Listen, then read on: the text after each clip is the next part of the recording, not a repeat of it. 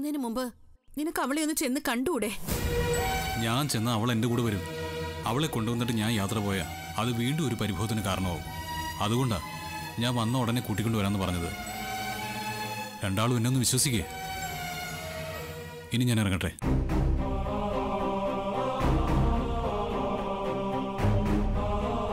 ഇതെന്താ? യാത്ര പോകുമ്പോൾ പതിവില്ലാത്തൊരു കാലുപിടുത്തം? യാത്രയ്ക്കുള്ള അനുഗ്രഹം വാങ്ങാൻ കാൽ പിടിച്ചതല്ല അച്ഛനെ ഒരുപാട് സങ്കടപ്പെടുത്തുന്നതുകൊണ്ട് കാൽ പിടിച്ചതാ.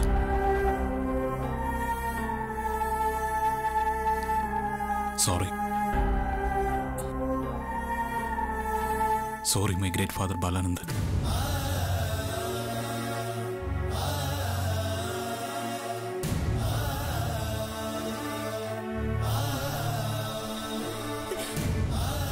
sorry for everything my lovable വാസന്തിയമ്മ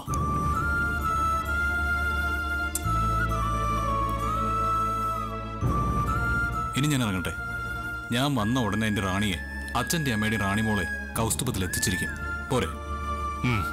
പോയി പെട്ടെന്ന് തിരിച്ചു വാടാ. ശരി.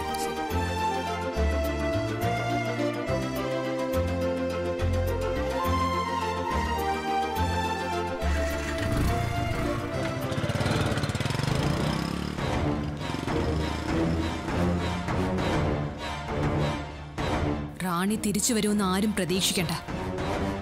അത് സ്വപ്നം കണ്ട ആരും ആശ്വാസം കൊള്ളണ്ട. റാണി ഇനി കൗസ്തുഭത്തിലേക്ക് വരാൻ ഒരു സാധ്യതയില്ല.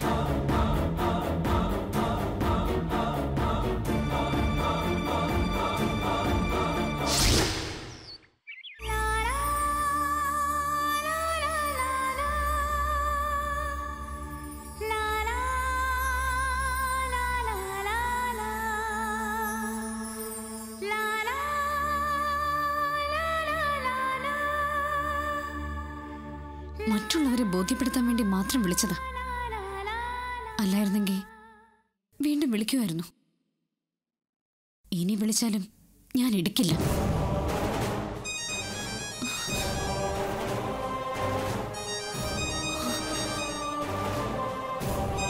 വീണ്ടും വിളിക്കാൻ എല്ലാരും കൂടി ആദ്യം നിർബന്ധിച്ചിട്ടുണ്ടാവും. അതാ വിളിക്കുന്നേ. ഒന്ന് എടുത്താലോ? എന്താ പറയുന്നെന്ന് കേൾക്കാലോ?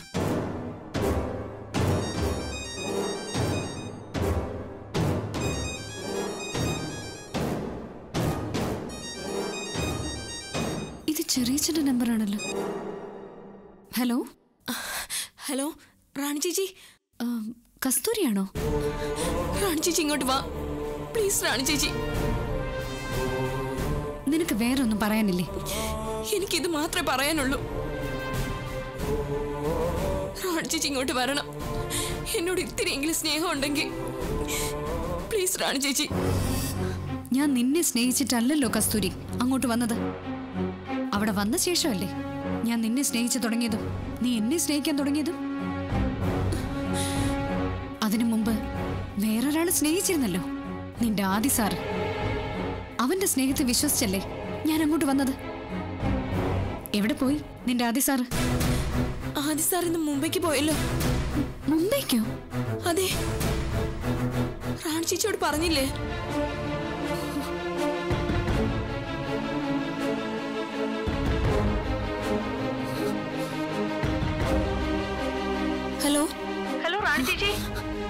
ആ ഹലോ? റാണി ചേച്ചി ഇങ്ങോട്ട് വാ. ഞാനിവിടെ നിൽക്കുന്നതിൽ എന്തെങ്കിലും ബുദ്ധിമുട്ടുണ്ടെങ്കിൽ ഞാൻ ഇവിടുന്ന് പൊക്കോളാം. എന്നാലും റാണി ചേച്ചി ഇവിടെ വേണം. റാണി ചേച്ചി പ്ലീസ്. നീ ഇപ്പൊ എവിടെയും പോണ്ട. അവിടെ നിന്ന് പഠിച്ച് രക്ഷപ്പെടാൻ ശ്രമിക്കും. റാണി ചേച്ചി നീ ഫോൺ വെച്ചോ. റാണി ചേച്ചി പ്ലീസ്.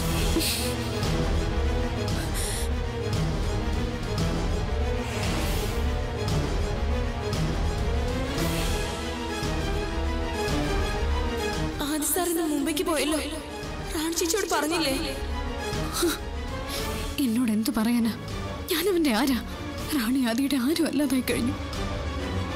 റാണി എന്ത് പറഞ്ഞു? ഫോണ് കട്ട് ചെയ്തു. റാണി ചേച്ചി വരുന്നു തോന്നുന്നില്ല. റാണി ചേച്ചി വന്നില്ലെങ്കിൽ ഞാൻ ഇവിടെ നിൽക്കില്ല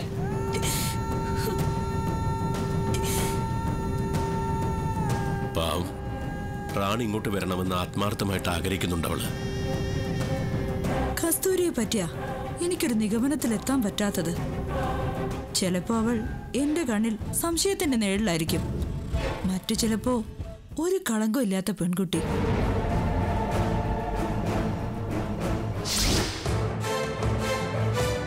ഞാൻ ചോദിച്ചു വാങ്ങിയതാ ഈ മുംബൈ ട്രിപ്പ്. അതുകൊണ്ട് ഇത് ഒഴിവാക്കാനും പറ്റില്ല. ഇപ്പൊ തോന്നുന്നു ഈ യാത്ര വേണ്ടായിരുന്നു ഞാൻ അപ്പോഴേ പറഞ്ഞല്ലേ റാണിയുടെ ഈ പോക്ക് നിസ്സാരമായി കാണരുതെന്ന്.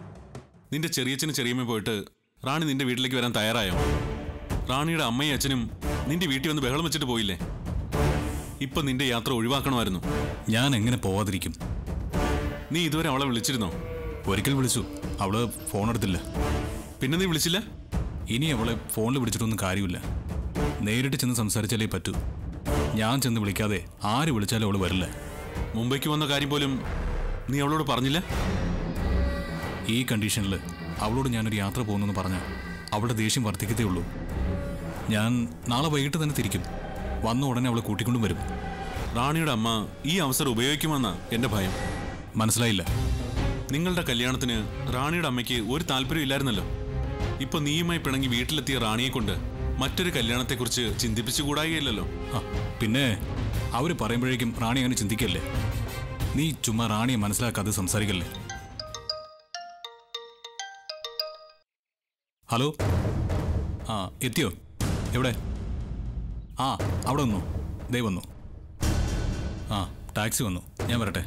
ഇനിയും ലേറ്റായ ഫ്ലൈറ്റ് മിസ്സാവും. ഞാൻ അവിടെ എത്തിയിട്ട് വിളിക്കാം. ശരി. ഓക്കേടാ. ബൈ.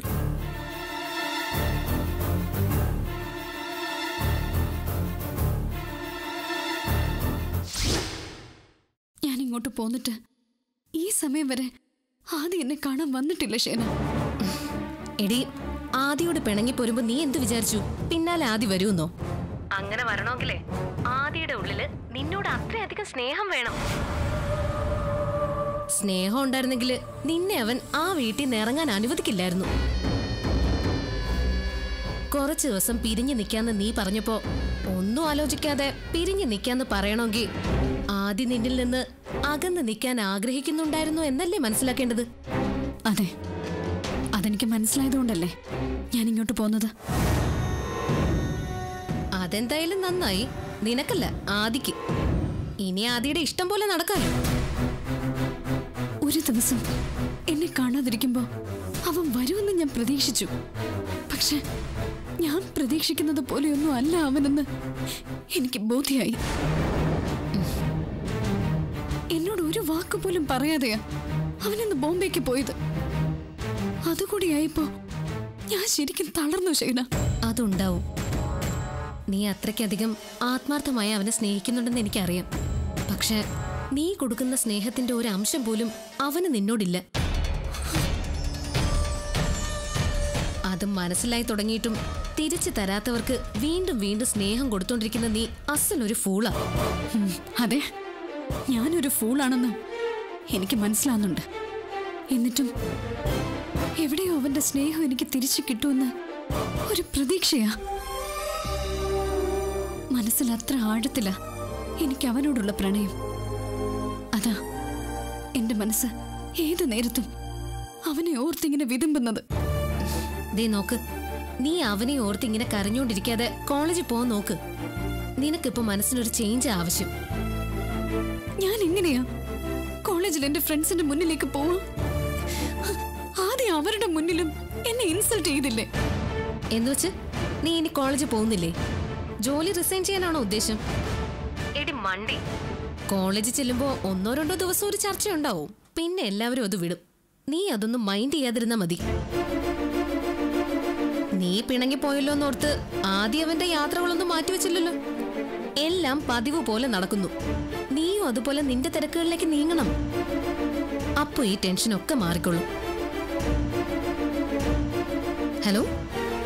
റാണി? ആ കേൾക്കുന്നുണ്ട്. അപ്പൊ പറഞ്ഞ പോലെ. ഞാൻ നാളെ വിളിക്കാം. ശരി. ഓക്കെ.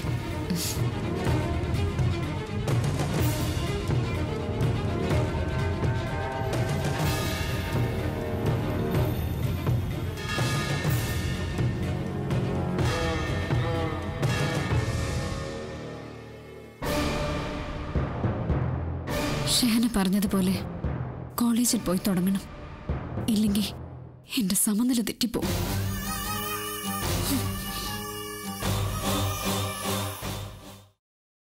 നിങ്ങൾ രണ്ടുപേരും കൗസ്തുവത്തിൽ പോയി അന്വേഷിച്ചിട്ടും നമ്മുടെ റാണിമോൾ അങ്ങോട്ട് പോണില്ല എന്ന് പറയണതിന്റെ കാരണം മനസ്സിലായില്ലേ?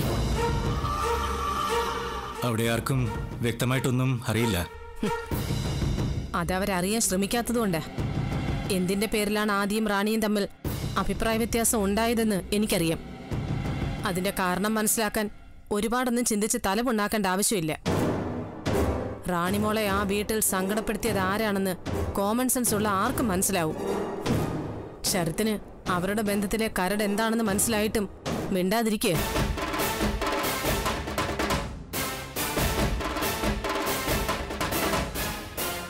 ഏട്ടനോട് ചോദിച്ചു നോക്ക്. ഇനി ഞാൻ എന്തെങ്കിലും പറഞ്ഞിട്ട് അധികമായി പോകണ്ട ചോദിക്ക്. എന്റെ ഏട്ട ഏട്ടനൊന്ന് പറയേ.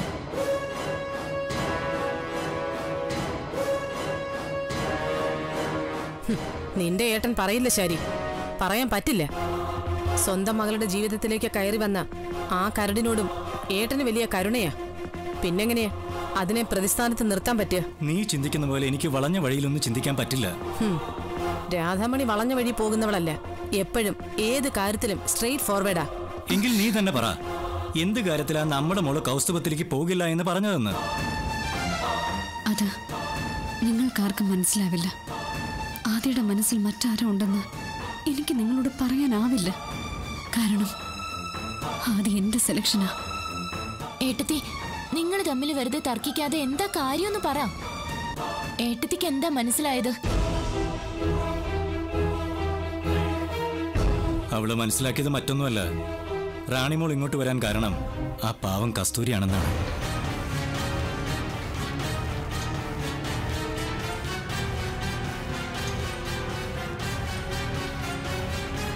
റാണിയെ സ്വന്തം ചേച്ചിയെ പോലെ സ്നേഹിക്കുന്ന ആ കുട്ടിയെ തെറ്റിദ്ധരിക്കുന്ന ഇവളുടെ ബുദ്ധിക്ക് എന്തോ സാരമായ കുഴപ്പമുണ്ട്.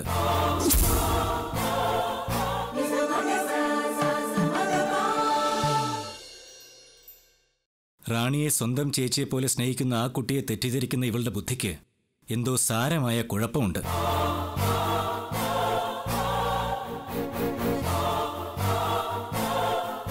എന്റെ ബുദ്ധിക്കും കാഴ്ചയ്ക്കും ഇതുവരെ ഒരു കുഴപ്പം ഉണ്ടായിട്ടില്ല.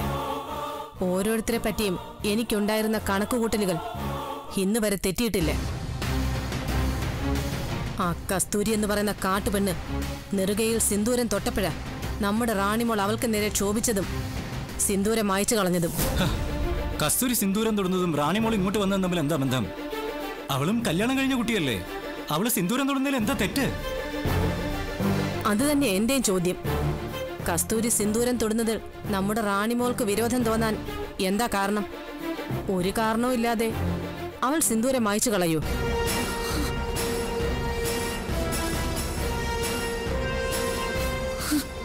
ആദിയോടൊപ്പം അവൾ ബൈക്കിൽ പോകുമ്പോൾ അവൾ ആദിയുടെ ഭാര്യയാണോ എന്ന് ആരെങ്കിലും തെറ്റിദ്ധരിക്കുമെന്ന് വിചാരിച്ച ഞാൻ അവളുടെ സിന്ദൂരം വായിച്ചത് എന്റെ ചോദ്യത്തിന് എന്താ ശരത്ത് മറുപടി തരാത്തത്? ആ, ആ ചോദ്യത്തിന് ഒരു മറുപടി അർഹിക്കുന്നില്ല. അതുകൊണ്ട് തന്നെ. ഉത്തരം ഞാൻ തരാം. കസ്തൂരി കൗസ്തുഭത്തിൽ വന്ന സമയത്ത് ആദിക്ക് കസ്തൂരിയെ ഒട്ടും ഇഷ്ടമില്ലായിരുന്നു. തൊട്ടതിനും പിടിച്ചതിനുമൊക്കെ അവൻ കസ്തൂരിയുമായി വഴക്കിടുമായിരുന്നു. പിന്നീട് എപ്പോഴാണ് ആദിക്ക് കസ്തൂരിയോട് മറ്റാരോടുമില്ലാത്തൊരു പ്രിയം തോന്നി തുടങ്ങിയത് രാധാമണി ആദിക്കും റാണിക്കും ഇടയിലേക്ക് ആ പാവം കുട്ടിയെ വലിച്ചിഴച്ച് നീയായിട്ട് അവർക്കിടയിൽ ഇല്ലാത്ത സംശയങ്ങൾ ഉണ്ടാക്കാൻ നിൽക്കണ്ട. അതൊരു പാവം കുട്ടിയാ. പാവം കുട്ടി. അവൾ കാരണം നമ്മുടെ മോൾ ഇങ്ങോട്ട് പോരേണ്ടി വന്നത്. എന്നിട്ടും ആ ജന്തുവിനോട് സ്വന്തം മോളോടില്ലാത്ത സ്നേഹം അതെന്താണെന്നാ എനിക്ക് മനസ്സിലാവാത്തത്. എന്തായാലും കാട്ടുജാതിയല്ലേ? വിശ്വസിക്കാൻ പറ്റില്ല. ഏട്ടത്തി കസ്തൂരി അങ്ങനെയുള്ള ഒരു കുട്ടിയൊന്നും അല്ല. അവൾ ഒരിക്കലും നമ്മുടെ റാണിമോൾക്ക് ദോഷം വരുന്ന ഒന്നും ചെയ്യില്ല. അത് നിനക്കെങ്ങനെ അറിയാം? നിനക്കെതിനു മുമ്പ് അവളെ അറിയോ? ഒന്നും അറിയില്ല. എന്നിട്ടും ആരെ എന്താന്നറിയാത്തൊരു കുട്ടിക്ക് വേണ്ടി വക്കാലത്ത് പറയാൻ നാണമില്ലേ നിനക്ക്?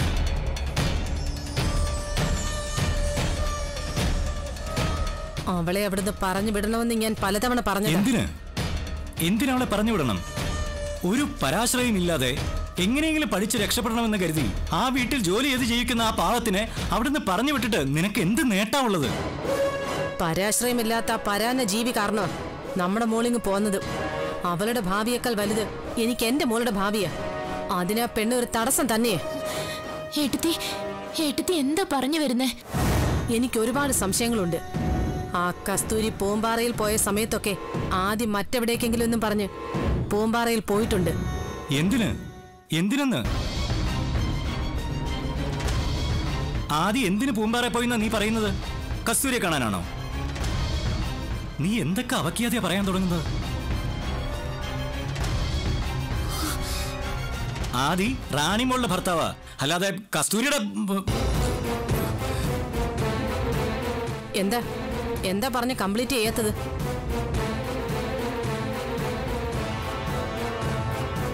കസ്തൂരി പൂമ്പാറയിൽ പോയപ്പോ റാണിമോളോട് കള്ളം പറഞ്ഞ ആദ്യ പൂമ്പാറയ്ക്ക് പോയത് അവിടുത്തെ വനഭംഗി ആസ്വദിക്കാനാണോ? രാധാമണി നീ ദൈവദോഷം പറയരുത്. റാണിയും കസ്തൂരിയും ചേച്ചി അനിയത്തെയും പോലെ ജീവിക്കുന്നത്. കസ്തൂരി ആദ്യം ചേർത്ത് അനാവശ്യമൊന്നും നീ പറയരുത്. ദൈവമേ എന്തൊക്കെ ചർച്ചകൾ ഇവിടെ നടക്കുന്നത്? ഇല്ല ഞാൻ കാരണോ മതിയായിരുന്നു. റാണിമോൾ കസ്തൂരിയുടെ സിന്ദൂരം വായിച്ചപ്പോ അവൾക്ക് വേണ്ടി ആദ്യ റാണിയെ പറഞ്ഞ വഴക്ക് ആ സരോജിനി പറഞ്ഞ ഞാൻ അറിഞ്ഞത്. അങ്ങനെ നമ്മുടെ മോളെ വഴക്ക് പറയാൻ ആ കസ്തൂരി അവന്റെ ആരാ? കസ്തൂരിക്ക് വേണ്ടി റാണിമോളെ അവളുടെ കൂട്ടുകാരികൾക്കിടയിൽ അപമാനിതയാക്കാൻ മാത്രം ആ കസ്തൂരിയുടെ മേൽ ആദിക്ക് എന്ത് ഉത്തരവാദിത്വം ഉള്ളത്? രാധാമണി ഇതൊന്നും വെറുതെ ഗസ് ചെയ്ത് പറയുന്നതല്ല. കൗസ്തുഭത്തിൽ പോയപ്പോ എല്ലാം ചോദിച്ച് മനസ്സിലാക്കി തന്നെ തിരിച്ചു വന്നത്. ഏട്ടത്തി എന്താ ഈ പറഞ്ഞു വരുന്നേ?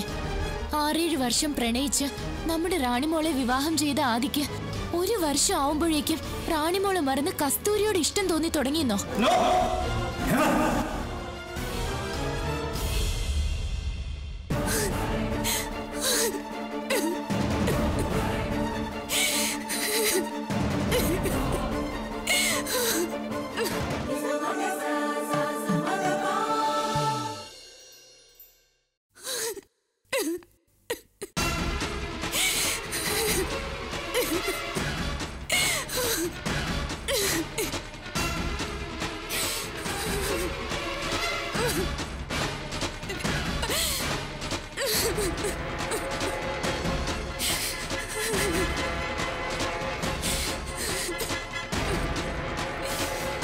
മോളെ റാണി നിന്റെ അമ്മ ചിന്തിക്കുന്ന പോലെയൊന്നും നീ ചിന്തിക്കരുത്.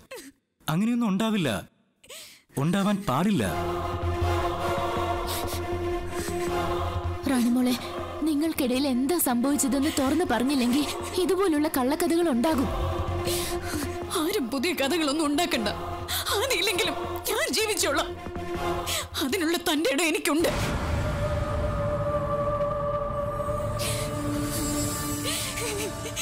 ചെയ്ത് എന്റെ കാര്യം പറഞ്ഞു നിങ്ങളാരും പരസ്പരം കലഹിക്കരുത്. പ്ലീസ്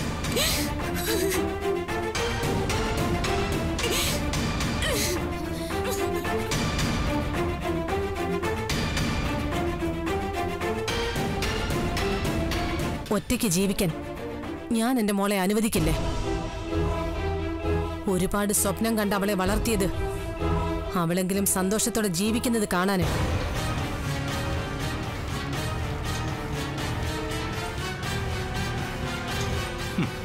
മോളുടെ സന്തോഷമല്ല നിനക്ക് കാണേണ്ടത്.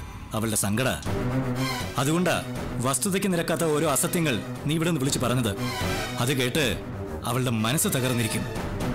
ഇതിന്റെ പേരിൽ നമ്മുടെ മോളുടെ ജീവിതത്തിൽ എന്തെങ്കിലും സംഭവിച്ചാൽ ഞാൻ നിന്നോട് ക്ഷമിച്ചു എന്ന് വരില്ല. നമ്മുടെ ജീവിതം നീ നശിപ്പിച്ചു. പക്ഷേ ഇനി മോളുടെ ജീവിതത്തിൽ കൂടി നീ കൈവയ്ക്കാൻ തുടങ്ങിയാൽ ആ കൈ ഞാൻ അരിഞ്ഞു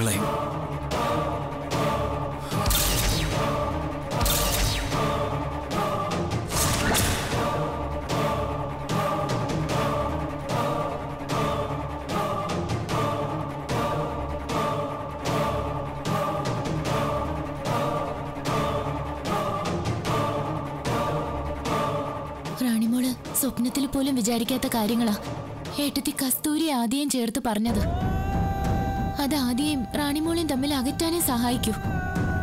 റാണിമോൾക്ക് ഒരു ജീവിതം ഉണ്ടാവാൻ ആഗ്രഹിക്കേണ്ടടുത്ത് ഏട്ടത്തി അടിച്ചുടയ്ക്കാനാ ശ്രമിക്കുന്നത്.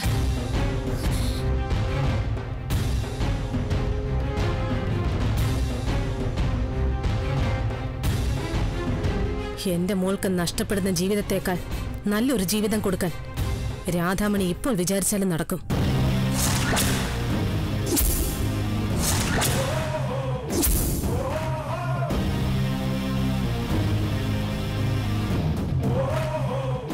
നമ്മൾ ടെൻഷൻ അടിച്ചിട്ട് എന്താ ഏട്ടാ കാര്യം?